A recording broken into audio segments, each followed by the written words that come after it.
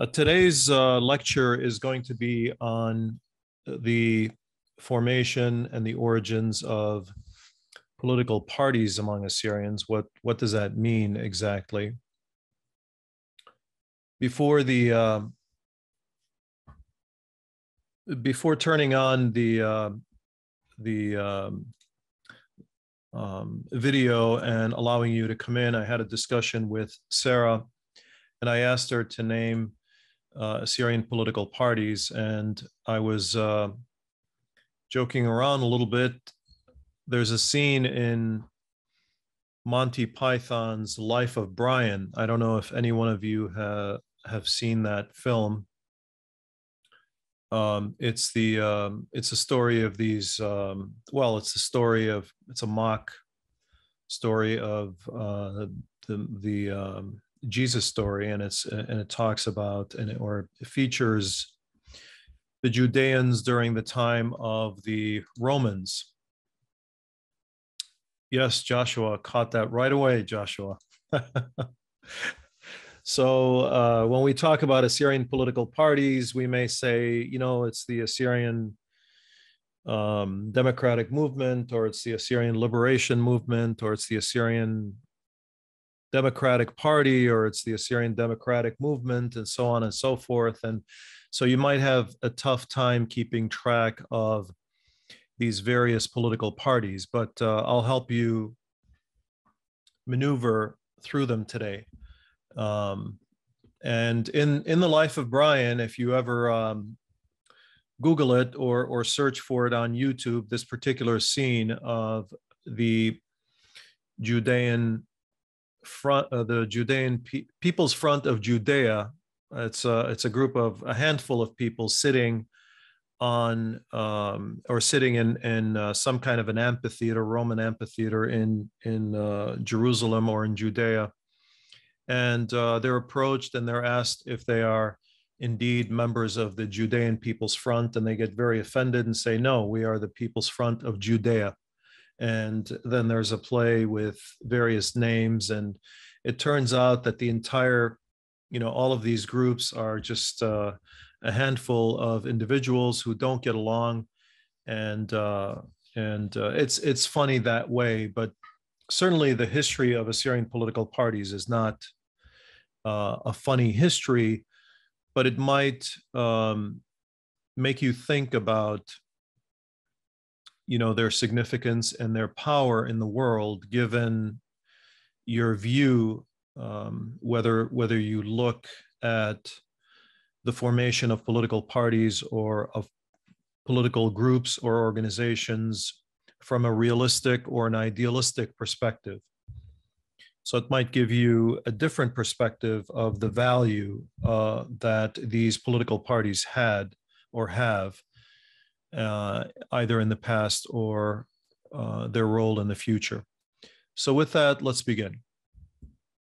The formation of Assyrian political body, bodies or parties. What are we talking about here? We first want to understand what characterizes Assyrian uh, political groups. Uh, how have they come together? What is their goal and if we can just give some themes to the these Assyrian political parties, we would say that they are concerned with the existence of the Assyrian people as a nation. Um, they are across the board concerned about recognition of the Assyrian people or the Assyrian nation. Oftentimes, the term nation is used rather than, for example, scattered communities. They're concerned about historical legitimacy and the identity of the Assyrian people. So there are various discussions and you know these days you might see on social media on twitter on facebook on on instagram and so on discussions of well why are we referred to as christians um, why are we referred to as Assyro-Chaldeans? Why do people refer to us as Chaldeans? We shouldn't be called Chaldeans. We should be called Assyrians. So these discussions often go on and they go to the heart of a concern about historical legitimacy and identity for various political parties. And some, you know, advocate this in a very serious way. There's also a concern about the covenant between the past and the present, uh, the Assyrian covenant of maintaining the existence of the um, uh, Assyrian past um, in an idealistic way, one could say. And there's also a concern on the part of many of these political parties for a share of decision making power.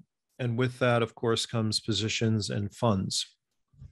And certain parties, and I will focus on one today as being a very important political party that's had a major significant role among Assyrians, and that is the Assyrian Democratic Movement, often referred to as Zoa.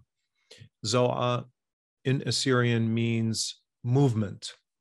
And uh, you will know that if you if you speak Assyrian, of course, you will know that Zawa are the diacritical marks that are used in the writing of the Assyrian. So Zawa refers to this particular movement. So all of these concerns are what characterize various Assyrian political parties that have come in the past and are, at, in most cases, still around today. Well, what do what concerns do Assyrians have also as a people, as a nation? Land rights. Are they concerned about collective rights? Are they concerned about human or individual rights? Are they concerned about allocation rights in terms of economic um, allocation? What is allotted to the Assyrians? What is allotted to, say, other ethnic groups? And representative rights. What rights do Assyrians have? Now, today in Iraq, the Assyrians used to have, one could say, depending on how one characterizes the Assyrians, representative rights, whereas today, perhaps they say, well, we do not really have representative rights. Now, some may say, well, we still do as Christians.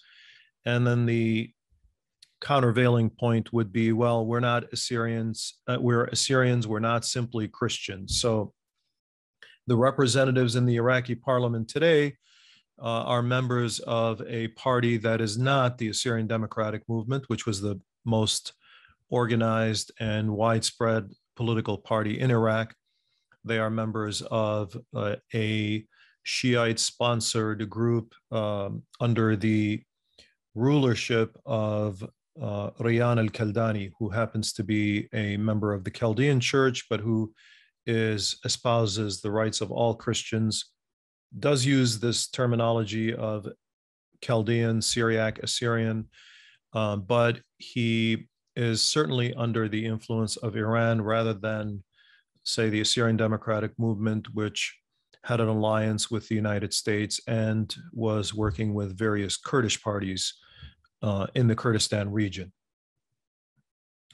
So it's important to know that politics is set of activities that are associated with making decisions in groups or other forms of power relations between individuals, such as distribution or resources of status. So it's about the distribution of resources. Most uh, oftentimes scholars describe politics as the question of who gets what, when, where, and how. How do we distribute that which we have? And what are Assyrian, uh, excuse me, what are political parties or organizations? A group of persons organized to acquire and exercise political power. It's always about power, and power has to do with resources. Political parties originated in their modern form in Europe, specifically in uh, Sweden, often is attributed to having the very first political party going back to the 1700s, 1719, and the United States in the 19th century, along with the electoral and parliamentary systems whose development reflects the evolution of parties. The term party has since come to be applied to all organized groups seeking political power, whether by democratic elections or through violence or revolution. In Assyrian, the term that is used for party is gebba, gebba. So there's a difference between being an Assyrian and being a member of an Assyrian organization. There are many prominent Assyrians who are at times politically active, at other times they are not politically active, but they are Assyrian. So some personalities who are important in both the United States and in the Middle East and in Russia uh, happen to be uh, members of other political parties. For example, Anna Eshoo is a congresswoman in California. Tariq Aziz was a prominent member of the Ba'ath Party who actually never uh, called himself an Assyrian, although his, his original name uh, was not Tariq Aziz, it was Yuhanna Mette. And he was from the Nineveh plain of Assyrian or Chaldean parents. And he had a very prominent role in the government of Iraq during its uh, reign under the Ba'athists and under specifically Saddam Hussein. Um, Victor Kamber was a very important political figure and uh, public relations personality in Washington, D.C. He's in his 80s now. You see him in the center here. Um, Adam Benjamin was a congressman from Indiana and had a very um, uh, great, very good reputation. Um, none of these people were members of a political party, although the top figure, Sergis Aghajan, uh, played a role in Assyrian activities in the Kurdistan regional government and supported many Assyrian projects. And of course, uh, was General Georgis is uh, was uh, he has since passed away, a very important personality in Syria's military um, uh, forces. Uh, Kalamanov is a Russian Assyrian. None of these figures are really or were, I should say, um, members of an Assyrian political party or drove an Assyrian agenda. Uh, other than, I would say, Sergis Aghajan, uh, and we can talk about that in the question and answer session. But he certainly had a role in the Kurdistan regional government. Now, some people attribute to uh, Sergis Aghajan a motivation to assist the Kurds rather than the Assyrians uh, but other Assyrians see in him a, uh, a, former, formerly a ray of hope for various uh, villages which he had built and various churches which he constructed and various funds which he distributed to Assyrians. So some of the most prominent Assyrian political parties have been the Assyrian Democratic Organization, uh, referred to as Mtaqasta which started in 1957, the Assyrian Universal Alliance, which started in 1968, not to be confused with the Assyrian Universal Alliance Foundation, separate organization, separate focus, um, has no connection to the Assyrian Universal Alliance other than the fact that its origins were of the um, Assyrian Universal Alliance. The Assyrian Patriotic Party which was started in 1973, and then the Bet-Nahrain Democratic Party, BNDP, oftentimes called, um, which started in 1974, and the Assyrian Democratic Movement, which had started in 1979 in uh, April of 1979. All of these political parties that were mentioned drew inspiration from a figure who one would not associate with being a member of a political party, Mar Eshai Shimun, but who put the Assyrian demands as if he were a member of an Assyrian political party representing his people before the Iraqi government and the British, who happened to control the Iraqi government at the time uh, prior to the mandate of uh, Iraq ending in 1932. And the demands were, and you will see these being repeated in this pattern of over and over again certainly in the past with people like Freydun Aturaya, Benjamin Arsanis, and others, but in the future, after 1931, through other Assyrian political parties, this desire for recognition, to be recognized as a nation domiciled in Iraq and not merely as an Iraqi religious community. So this echoes into the future. And of course, there is a continued discussion about this um, this concern that we don't want to be known merely as Christians inside of Iraq. We are more than Christians, and this so this is echoed again and again. Um, there were other demands, of course. None of these demands materialized because the Iraqi government refused them, and the British backed the Iraqi government to basically tell the Assyrians to accept whatever solution was to be given and that there was no intention on the part of the Iraqi government at the time, led by King Faisal I, to submit to the Assyrians any of their demands. The Assyrians would simply have to accept their religious leader simply as a religious leader and no more, and that their demands would not be entertained and they would have to accept their situation as any other people inside of Iraq. And of course, we know in 1933, the Semele massacre occurred, which thousands of Assyrians were targeted, and the Assyrian movement specifically was crushed by the uh, new state of Iraq in a particularly ruthless show of violence uh, by not only the Iraqi government's soldiers, but also other tribal groups such as the Kurds, Arabs, and including, unfortunately, the Yazidis who participated in destroying Assyrian villages, looting and uh, murdering many innocent and unarmed Assyrians.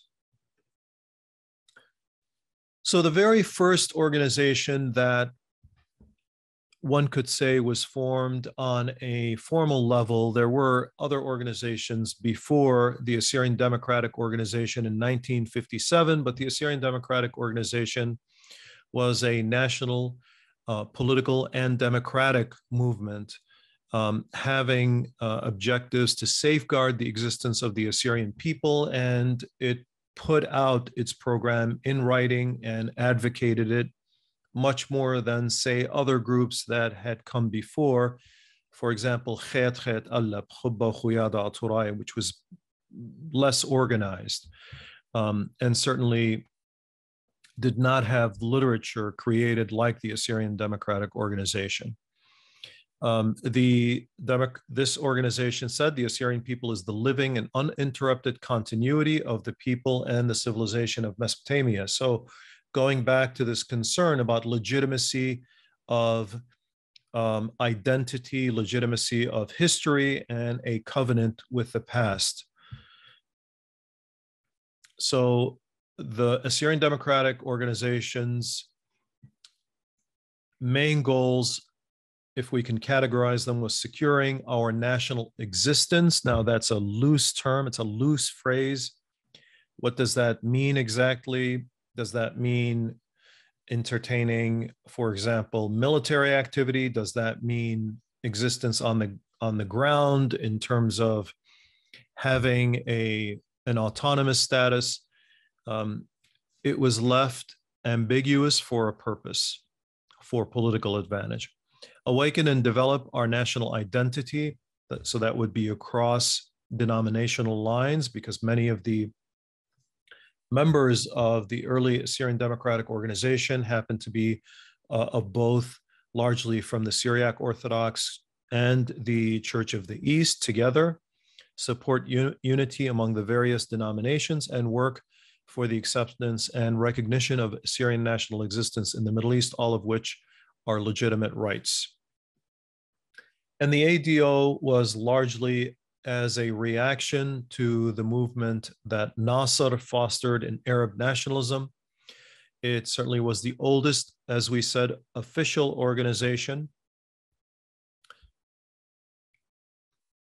And this is from a meeting that uh, I personally had with a member of the organization. And uh, it's interesting to see because this is reflective of other, it sort of encapsulates an experience that other Assyrian organizations had in Iraq and in Syria. We believed in nationalism. We argued many issues among each other and attempted to learn our language and history. We also uh, remember now when Assyrians do not have the institutions of power, the institutions of state to support them, when they do not have a powerful budget, as it were, to support their activities, what happens? So they talk to each other, they try to learn their language and history, they have this covenant with the past generations to maintain their existence. We also focused on how to be a good member in the party. We wanted to establish a renaissance within the nation. By the way, the word Ba'ath, party in Arabic, also means renaissance. We tried to become members in the churches, all churches, to influence people towards nationalist thinking or national thinking. We believe that we are one people belonging to different sects. So this again is repeating the message that was advocated by Benjamin Arsanis and Freydun Aturaya in Urmi, by um, uh, Harputz, uh, Ashur Yusuf, and uh, Naum Fayek, uh, members of the Syriac, uh, uh, Syriac Orthodox Church, and uh, others in the Church of the East. So this is echoing what came before 50 years, over 50 years prior. There were there was opposition to this idea from some among our people, but this was based on ignorance. The nationalist outlook was something new, according to this one member. Everything was all under the churches at the time. I recall once a Syriac priest asked me what denomination I belonged to. I said Christian. He said he knew, but what church? Simply to avoid the division, I told him I was a Christian.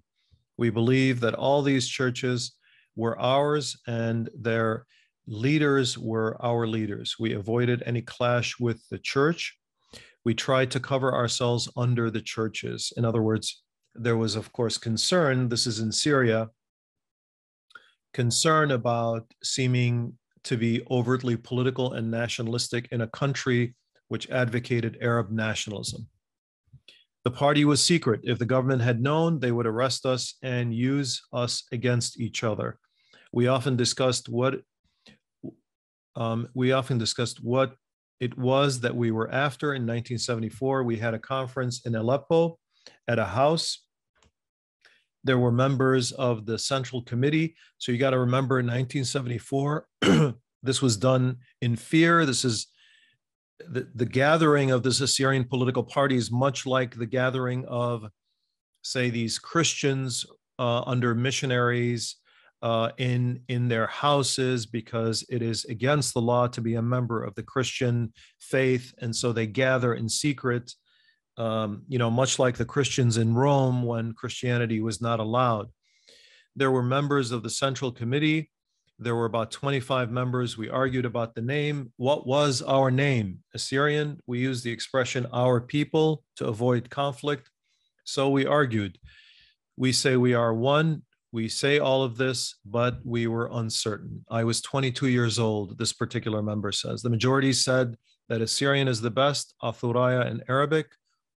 The ones, uh, or Athuria in Arabic, the ones who settled this ADO were from Qamishli and were from Tur Abdin and Mardin. They used uh, Syriac Western or Western Syriac. Uh, Shukri Charmukli from Qamishli, so they used Athuraya or Athuroyo, but some wanted the word Syriac. And oftentimes these words would be interchangeable in this particular organization. And later, it, the same in Iraq so the ADO, when it came time for the liber- liberation of Iraq, stood against the Iraqi constitution and criticized the Iraqi constitution as being uh, unfair and uh, focusing really on a uh, on the wrong thing and dividing the Assyrians. Um, this was very important for the ADO The three known uh, designations, Chaldean, Assyrian, and Syriac, have been used interchangeably during the course of Assyrian history, and they felt that the Iraqi uh, constitution did not reflect that.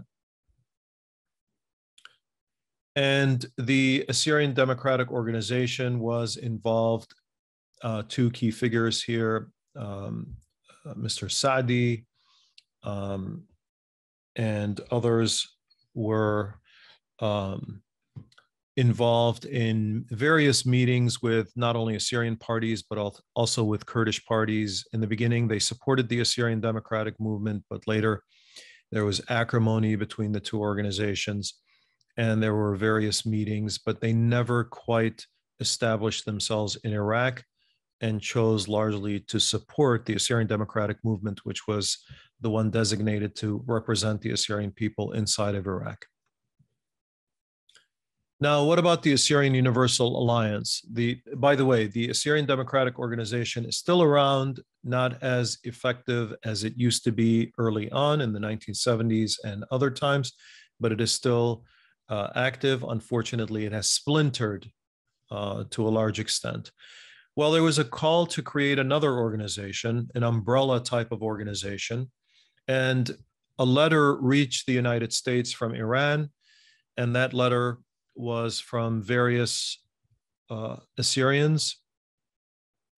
In your capacity, you could contact US State Department, French, United Kingdom, Israeli, and Iranian ambassadors to the US and UN influential senators and elected officials for the purpose of verifying them about these points, meaning this letter went on at great length about the changing Middle East and asked on behalf of the Assyrians of Iran, almost anonymously, for the Assyrians of the United States to become involved in assisting the Assyrians in the Middle East through the use of American political power. And thus far, really the Assyrians worldwide have contacted mostly the uh, country that is most active in the Middle East, of course, is the United States, um, and as well as European uh, countries. To date, there is not much interaction between Assyrians and the Russian government, for example, because the Russian government has not been um, has not had much effect in the Middle East, certainly not on the level of the United States. So in 1968, the Assyrian Universal Alliance came together largely from uh, Assyrians in Iran and also Assyrians in the United States. And because of this, the Assyrians in Iraq, which became associated with the Assyrian Universal Alliance, were suspected of being supporters of, for example, the United States or Iran or Zionism.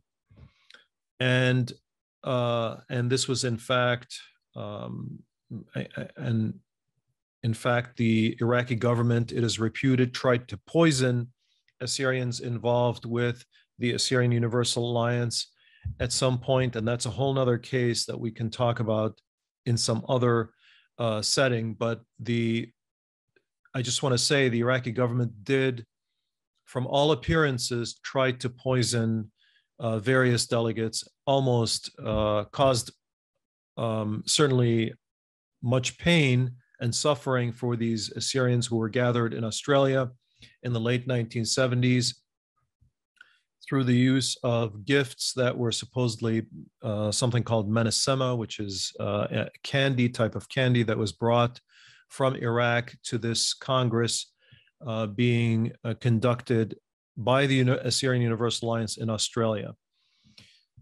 Um, the AUA became a central Assyrian organization. Uh, while it did manage to put forth some practical demands on the Iraqi government, its message to Assyrians seemed to be concerned more and more with prophecy rather than political um, practice. It continued to insist, for instance, on a national home for the Assyrians in North Iraq, despite the impossibility in terms of a budget, military power, and political influence. And so um, it oftentimes would use headlines like Assyria is coming back um, without really much of a foundation. And this is the first part of that letter that I, I gave you that you should, where the Assyrians in, in Iran are asking the Assyrians in the United States to engage in some political activity. The situation in the Middle East has, as you know, created uh, for the Western powers the necessity of renewed appraisal of their long range policies regarding the framework of the Middle Eastern countries and their relations with each other. The pan Arab chauvinism has endangered the peace and integrity of such countries as Israel, Iran, Turkey, Lebanon, and the minorities of Iraq. Assyrians, Kurds, and Shiites are seeking homogenous uh, uh, autonomy. This has been encouraged by non Arab countries as well as a few of the great powers. Something should be done to invite the attention of the United States, Great Britain, France, and Israel to the fact that this is a high time for uh, to set up a federal republic of Iraq consisting of autonomous and uh, homogeneous ethnic states. One has to recall that the people writing this before the formation of the Assyrian Universal Alliance were being uh, pushed by uh, Iran and possibly even uh, by the United States uh, to encourage this, because we will see that this um, although it will be accepted on one level, uh, will not be later by the Assyrian Democratic Movement. Dr. Wilson Bint Mansur was one of the leading advocates of the um, of the Assyrian Universal Alliance and certainly had connections to the Shah's government. Uh, Shah of Iran was a widely respected person, a well-known Assyrian nationalist himself, and played a role in the formation of the Assyrian Universal Alliance, which met in Pau in France in 1968 and pushed for the creation of an umbrella organization for the very first time for worldwide Assyrian efforts and not just Assyrians in one single country. So, all of these countries, it would be similar to, say, the World Zionist Organization, World Assyrian Organization under the umbrella of the Assyrian Universal Alliance. And there you see a number of personalities, such as Wilson Bint Mansur in the center, Daniel Crispi, who has since gone to Sweden. Um, Dr. Wilson Bint Mansur has passed away, and others who are from largely the United States, but they were also joined by others from Syria and Iraq as well. And the Assyrian Universal Alliance also had the support of personalities like John Yonan, who is an Assyrian businessman who's to the left here in the United States, lived in Chicago, uh, was a major supporter of refugee organization and was the founder, along with a number of others, of what is known as the Assyrian Universal Alliance Foundation, which later separated from the Assyrian Universal Alliance. Here they are with Chuck Percy, and uh, Sam Andrews Ephraim Reyes, uh, both of you, whom were to be leaders in the organization, and to the right as Mark Thomas, an Assyrian attorney. According to William Nyonan, the Assyrian Universal Alliance represents all Assyrian societies and organizations in the world. So, this desire to be an umbrella organization. The ultimate goal of it is to secure a homeland for the Assyrian nation in the form of an autonomous state in the northern part of Iraq territory known as the Assyrian Triangle. And the Assyrian Universal Alliance, very early on, generated support from various organizations. And uh, among them was the Bet-Nahrain organization, which later uh, became a party, formed its own political party the Assyrian Universal Alliance held various congresses. One of the earliest was in 1971 that highlighted the power of the um, the Assyrian Universal Alliance because it was supported by the Iranian government. In fact, it was funded in part by the um, by the Iranian government, and it became very visible as a result uh, to the Iraqis themselves. And this is just before the war with the Kurds inside of Iraq in 1973. In 1972, partly as a result, the president of Iraq, acting with various members of the Ba'ath Party and other Assyrians who happened to be members of the Ba'ath Party in Iraq, thought that it would be a good idea since the Kurds were being given the rights to autonomy, that the Assyrians would also have rights as Syriac speakers. Now, the, the Assyrians were not recognized as a nation in Iraq. In fact, never during the time of the Ba'athist were the Assyrians recognized as a separate nation within Iraq. The Kurds were, but the Assyrians were not. But they were recognized as speakers of Syriac, ناطقين باللغة السريانية, and were given some cultural rights. And a pardon was issued to certain Assyrians who left Iraq in 1933. Remember, this is about 40 years later and uh, and the Ba'ath Party tried to reflect to the world that it was reforming itself and it was giving minorities rights.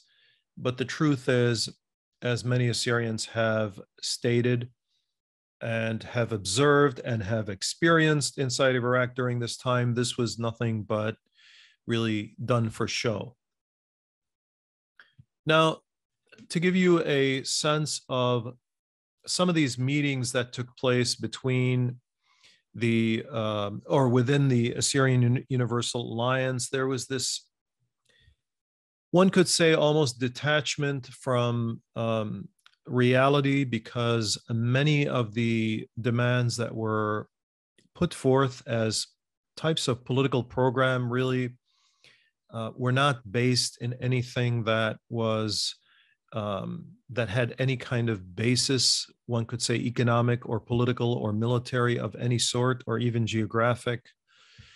We request the government of Iraq to accord an autonomous status to the Assyrians in the territory between the Greater Zab and the Tigris rivers. So, what exactly is being discussed here? What types of map? What types of villages? What type of demography? What type of geography exactly, other than a loose reference is unknown.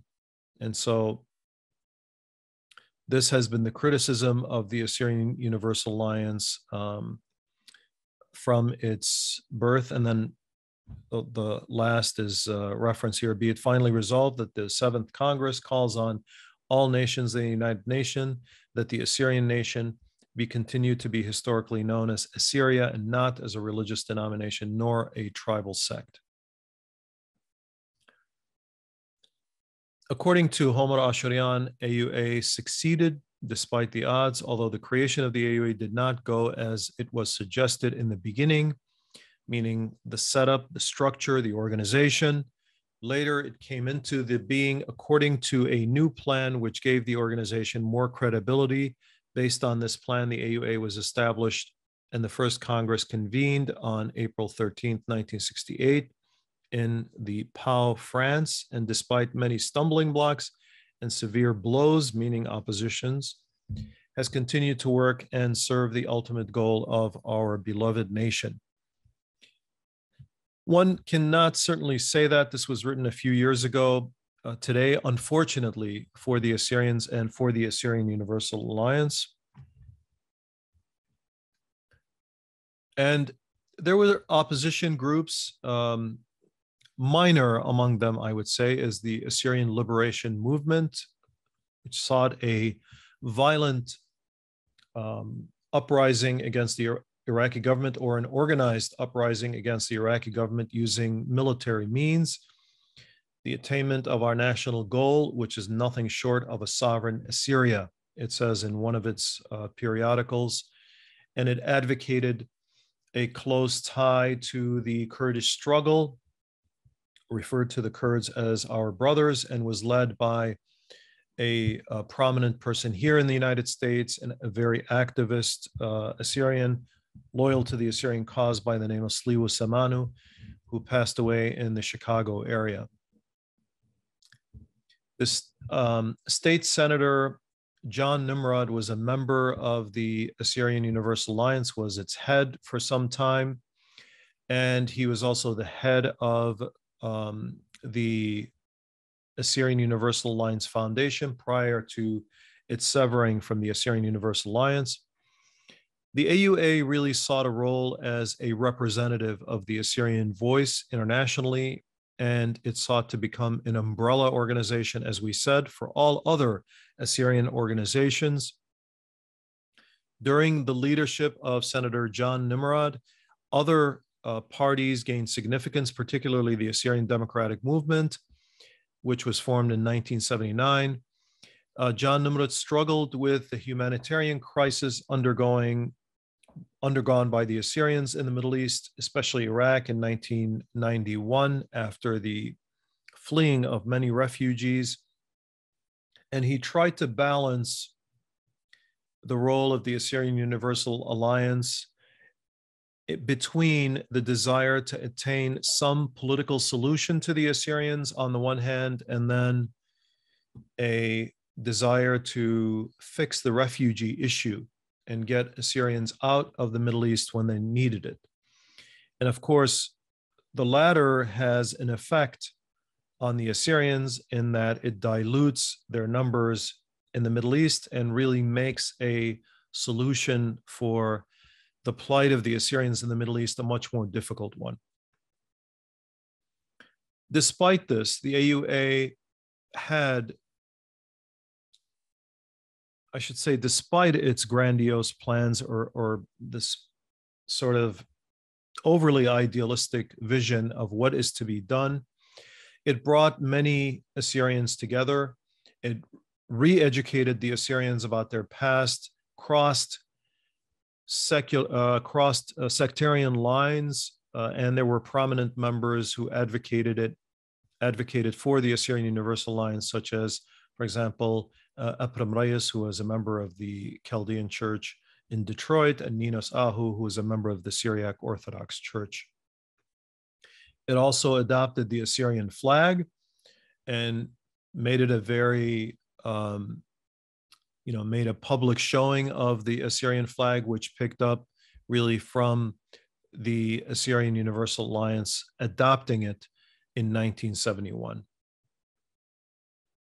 The Bet-Nahrain Democratic Party was a rival party only a few, few years later. Initially, it sought to assist, its members sought to assist the Assyrian Universal Alliance, but later separated from it. And I recall a time when in Chicago in the 1970s, there were two prominent political groups, the Assyrian Universal Alliance and the Bet-Nahrain Democratic Party, and they would have these gatherings where hundreds, um, sometimes over a thousand people would attend, and there was very heated debate and a heated uh, conflict. Never came to um, violence, although some claim that there was some violence involved uh, not serious violence in terms of assassinations or so on, but there were certainly uh, there was friction, acrimony in Chicago in the 1970s between various political parties. But the Bet-Nahrain Democratic Party that was formed in 1974 advocated that um, Assyrians come together and ask for autonomy. Again, repeating the um, Assyrian Universal Alliance's quest. And, and the two groups that came together were the this group that was formed under Sargon Dadishu in, in uh, California, in Modesto, California, and the Assyrian National Quest uh, individuals in Chicago under the leadership of Giuliana Yonan and others. Had presence mostly in Chicago, Turlock, Modesto, and Sydney, sought autonomy, as we said, for Assyrians, affiliated with Kurdish parties and made contact with Kurdish parties, particularly during the time of the opposition parties growing in Washington, D.C. The party is now headed by Romeo Hakkari. So, two very prominent people in the party were Sargon Dadishu in the United States and still is, and Romeo Hakkari in Iraq, who is a prominent politician for the Christians, for the Assyrians in the Kurdistan regional government, within the Kurdistan regional government. he has some um, uh, notoriety there. Sargon Dadishu became a sort of celebrity, as it were, among Assyrians. He traveled to many places in Russia and um, became a, at times a controversial figure. Um, and I, I, don't want to go into this in too much detail, but uh, there are these, uh, there, there was this question or this concern on the part of some Assyrians as to where the funding was going. Um, at one point, Sargon Dadishu became the victim of an attempted assassination by the Iraqi government and won a judgment um, of 1.5 million uh, for emotional distress, uh, a case which um, many people think was really concocted by the FBI. But anyway, um, in Russia, uh, Sargon Dadishu helped, along with others, uh, form the rise of Assyrian movements. And these Assyrian movements became active in Russia and in particularly in the 1990s and helped to uh, generate some interest, although there was um, less to do. There was uh, certainly support in Moscow and St. Petersburg and in Krasnodar throughout Russia, as well as in places like Armenia and Georgia for Assyrians who lived in those cities to co- sort of gather, maintain their culture, produce works of literature. One of the people that was most involved in Russia among the Assyrians in political activities was uh, a nationalist uh, by the name of Professor Mikhail Sado, who was a very learned uh, person, and he had been imprisoned in Russia for his political activities. Now we come to the Assyrian Democratic Movement, which is really the culmination of all of these political parties and many in Iraq. And the Assyrian Democratic Movement formed, I would say, for the very first time, one of the most practical uh, efforts to find a solution to the Assyrian problem. Now, how far it has succeeded is a point of debate among many Assyrians, but it started in 1979 from, and it drew on various educational, athletic, and uh, political groups, secret groups of Assyrians inside of Iraq, became part of the Iraqi Kurdistan Front, one of the five political parties in 1987. In 1992, it participated in elections and one of was one of the seven parties that gained seats. Out of 105 seats, 50 were the Kurdistan Democratic Party, 50 were the Patriotic Union of Kurdistan, and four were the Assyrian Democratic Movement. And you could see that it held sort of the power between these two political parties in its hands. The ADM members were given ministerial seats within the KRG, Yonadam Kenna became member of the governing council in 2003 and later held parliament seats as well as being the secretary general of the Assyrian Democratic Movement. This is a photograph, a rare photograph of members of the Assyrian Democratic Movement.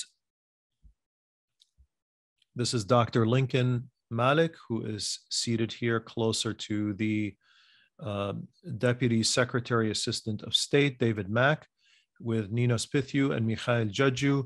And in the uh, picture, we also see to the left here Senator John Nimrod, and there are a couple of other members um, that are not very visible here.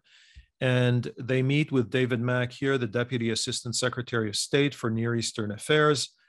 Um, and uh, George Bichliman was also here this is in 1993, after the crisis of 1991. Various Assyrian political parties came together and pushed for the Assyrian Democratic Movement to be a representative party for the Assyrians in Iraq, and the Assyrian Democratic Movement took that role on. Now, from the perspective of the Americans, we must keep in mind although the hopes of Assyrians rose in terms of finding a sort of a comprehensive, a meaningful, a territorial, a political solution to their plight that involved a collective solution. The United States did not see it that way. Um, Mack, when interviewed years later, tells us that Turkey was a big factor. The Turkish government, of course, was strongly opposed to any kind of Kurdish separatism. Now, if it's opposed to any kind of Kurdish separatism, certainly it would not entertain Assyrian separatism or an Assyrian solution. Some in the US government, myself included, wanted the Iraqi opposition to be taken seriously, but we felt being unified in some way was a precondition for effectiveness. Secondly, they had to forswear breaking up the country. In other words, the United States did not want the Kurds to break up Iraq. And although in the 1970s, Mullah Mustafa Barzani was supported by the United States, one would think, and the Shah of Iran to have some kind of a independence or a meaningful autonomy, the truth was that the United States never meant to, as it were, go all the way with the Kurds. And it simply wanted them to bother the government of Iraq into conceding certain political points. And then the Shah, once he got what he wanted from Saddam Hussein and the Ba'ath Party in Iraq, the Kurds were in effect discarded. So they were concerned that Washington would do this to them again. And Mack tells us here that he certainly, and Mack, by the way, differentiates between what the CIA wanted and what the State Department wanted. Um, and he tells us that um, uh, there would be no chance of international support from their neighbors, the Turks, the Saudis, Egyptians, Syrians, and others. In my first meeting with opposition groups, I found they spent most of their time complaining about rival opposition organizations. This would certainly be a problem with the Assyrian political parties as well. Particularly for the Kurds, I said that our main concern was humanitarian. We would not support political aspirations to a separate Kurdish nation, but we shared their desire to protect Iraqi Kurds from repression and exile. In that connection, we noted that our practical ability to help depended on a high degree on our alliance with Turkey. So I say this, I repeat these words because intertwined within the Kurdish solution for the United States was the Assyrian issue. After one meeting with a large Kurdish delegation, a Middle Eastern newspaper quoted one senior Kurdish leader as saying, quote, Ambassador Mack received us with warm hospitality and cold words. At least he understood the negative part of my message. So Mack has fun with this in that, listen, we weren't going to give you any hope that we would support you um, as we had supported you perhaps in the 1970s. That was the CIA. This is the State Department. We're not going to give you any leeway to start thinking about a separate Kurdish nation when we have no intention of supporting such a thing. And uh, there is this concern also. He tells us that uh, there was a debate underway within the administration about whether to re engage our military forces within Iraq's borders. This is between Turkey and Iraq when a lot of Kurds escaped along with the Syrians into Turkey um, to try to do something about the great potential humanitarian disaster of uh, dislocated persons in northern Iraq and southeastern Turkey, of course. Most of the affected people were Kurds, but there were also other groups like Turkmen and Assyrians. And of course, you saw the picture of Mack's sitting with Assyrians in 1993. His interview takes place in 1995 with the uh, Library of Congress. There were many trips made by Assyrian political groups who supported either a certain political party or did not support a political party, but really desired sort of the same thing repeated again and again with members of Congress in the US. And I would say if we're to have a bird's eye view of all of these events, it, they yielded really very little for the Assyrians themselves in terms of a practical and significant or a meaningful or a material solution for the Assyrian plight. And here you see various members with uh, Anna Eshoo and uh, Representative Gutierrez from Illinois. She's from uh, she's an Assyrian member of Congress from uh, California, as well as other Assyrian activists. There's the Mr. Aladdin Khamis, who is the at one point the president of the Assyrian American National Federation, and the late uh, Sargon Liwi, who is also the president of the Assyrian National Federation, among others. What was the Assyrian Democratic Movement and what could one say about its program? So I, I think it's very important to quote one of its most, I would say, influential or if not significant thinkers, Dr. Lincoln Malik, who's no longer active in the movement. Um, he tells us in, in one of his writings in 1994. The time is ripe. This is before 2003. Time is ripe for Assyrian intellectuals to engage in a comprehensive, dispassionate, reasoned, objective, and constructive discussion toward developing a national consensus for an Assyrian strategy. He's talking about Iraq. It's important that we keep a clear perspective of our history as we chart our future it is said that those who do not learn from history are condemned to relive it. However, this is very important for Lincoln Malik and the way he thinks. We must not be mired in the history to the point of being its slaves. Those who choose to live in the past do not have much to offer for the future. So he's looking for a new strategy through the Assyrian Democratic Movement. And he is telling us there are several choices assimilation, is assimilation the solution? Absolutely not. He tells us this is simplest and by definition the most deadly solution. It calls for our assimilation in the cultures around us. In Iraq, the traitor Tariq Aziz, he refers to him, has declared himself an Arab and invites the rest of us to follow suit. In fact, he is an architect of the Arab, Arabization policy offered by the Saddam dictatorship to solve the Assyrian problem. He also rejects appeasement. There are those who propose that we win our legitimate rights through appeasing those who persecute us. They claim that if we work with the dictator in Baghdad, remember this is prior to the fall of the regime, he will bestow his blessings on us. And uh, he tells us that this is unacceptable. The Ba'ath regime in Baghdad is based on the most vicious form of Arab chauvinism.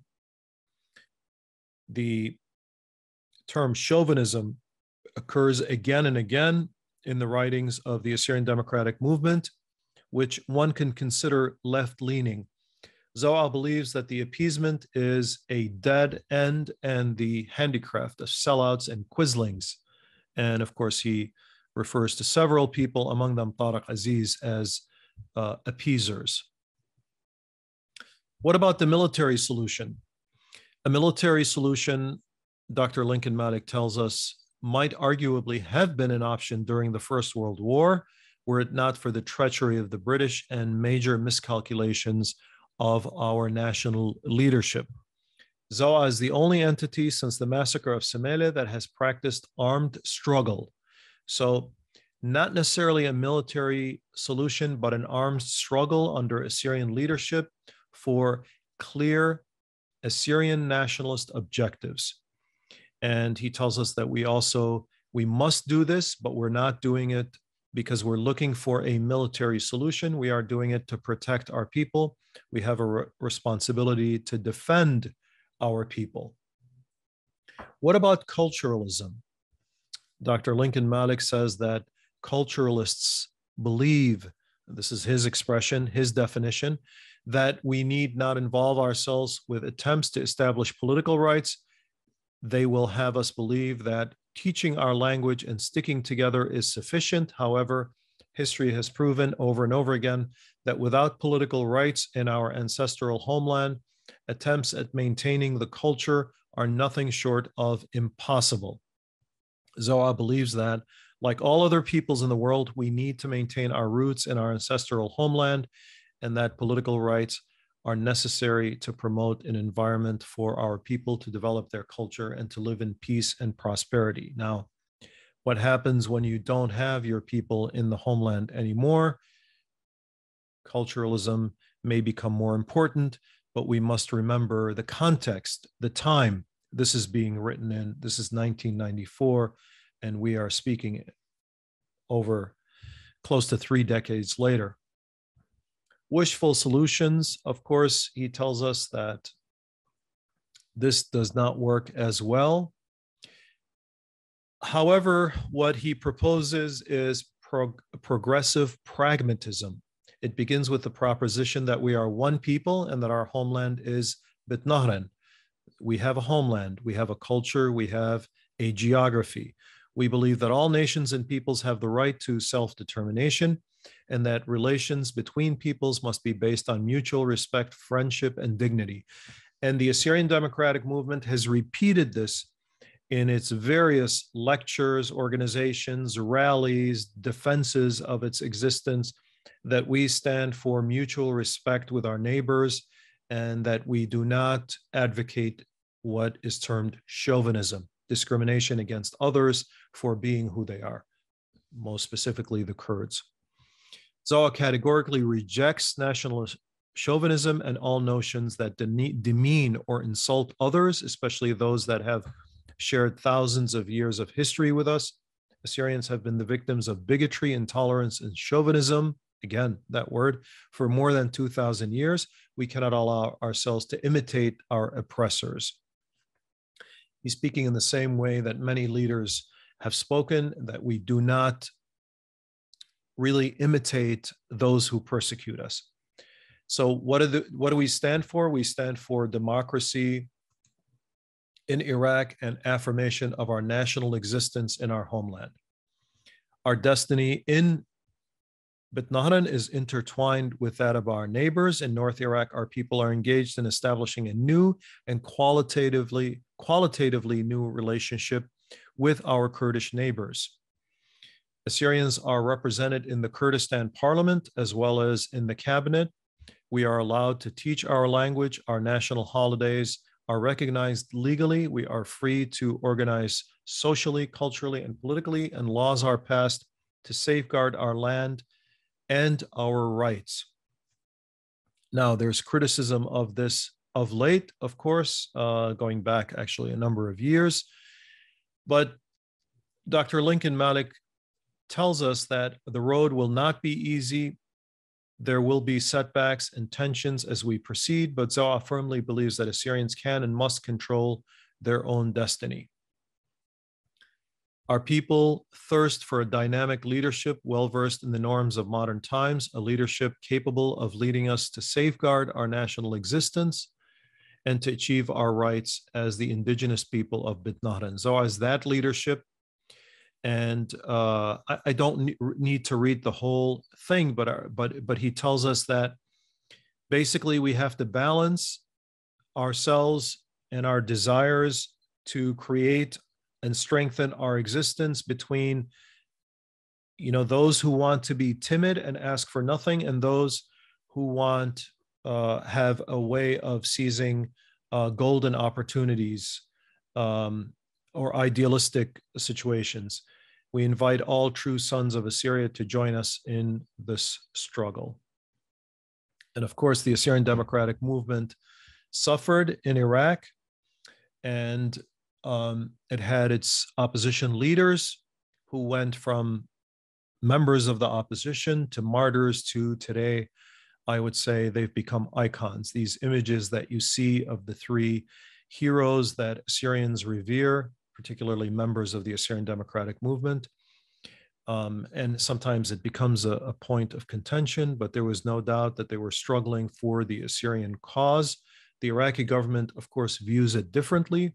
It viewed these leaders who were arrested along with 150 other Assyrians um, as in, in, 1985 as people who were separatists who were possibly supporting the struggle um, or supporting the war with Iran the wrong side. They were treacherous to the Iraqi government. But for Assyrians, they are heroes because they stood for the rights of Assyrians.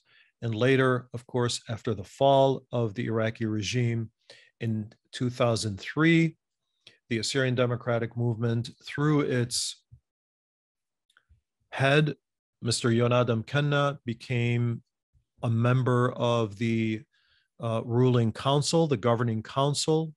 He was one of 13, so a very significant position for the Assyrian Democratic Movement. Along with this came positions of power and influence. But what happened was that the Assyrian struggle, in effect, became part, um, became co opted within the state of Iraq.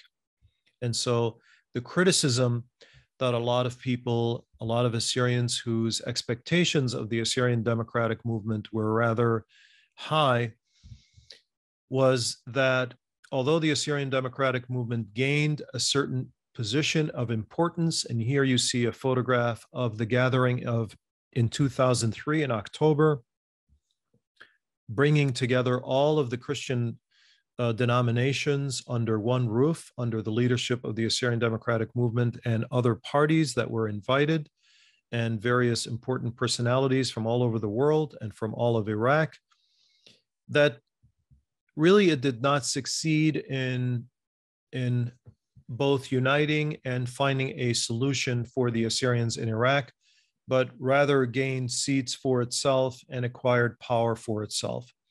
But I think this criticism is unfair because the Assyrian Democratic Movement did certainly influence the creation of something called the Nineveh Protection Units, which is still around today. Not as effective as sometimes it is advertised to be, but it is nevertheless a force uh, that protects Assyrian villages, certain Assyrian villages. And the Assyrian Democratic Movement also helped to create a kind of popular spirit and organized members from various sects of Assyrians, uh, Chaldeans, Syriac Orthodox, Syriac Catholics, others. It aimed at concrete goals. It sought and obtained a budget, which was something very important that not many organizations uh, had done. It sacrificed lives. It built coalitions with other political parties. It organized schools and educational programs, which are still in effect today. It joined the Assyrian uh, or the Kurdistan Democratic Front and is still technically a member, a recognized member, although there's much politicking here in this regard. It had four seats that were allocated for Christians, five were allocated for Christians. So it was the most important Christian political party in Iraq. It built networks of supporters across the world. There are chapters, approximately, I think, 19 chapters all over the world. Uh, Chicago, where we are, has a chapter. They are often called sectors. 2003 had the largest conference of Assyrians that took place in Baghdad and became really the most popular Assyrian political party as weak as it is within the larger Iraqi realm, and certainly on a regional basis, it is possibly the most effective Assyrian political party. And it won the admiration of many uh, Assyrians. And for the first time, there are many popular singers here, as Ashur Bet Sargis, for example, that sing about the Assyrian democratic uh, movement. And so given what it has accomplished, I would say, although its stated goal, as outlined by Dr.